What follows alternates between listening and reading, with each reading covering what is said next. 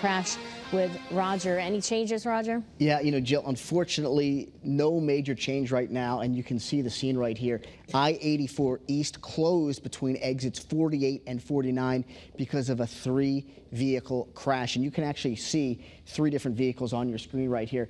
This darker colored SUV smack dab up against the guardrail. There's also a white colored sedan there at the bottom of your screen, as well as a sedan right here that you can see this emergency responder walking towards. We've also seen several different emergency response vehicles blocking the highway as you'd expect. Firefighters up here, state troopers here in the middle, as well as multiple ambulances as well. At this point, we do not have any information about any potential injuries. We're going to be dialoguing with state police about that. But again, what we can tell you that's going to impact your morning commute is that I-84 East is closed in Hartford between exits 48 and 49. And there are also miles of secondary delays. So it's certainly an area that you're going to want to avoid if you're heading out onto the roads in the next few minutes.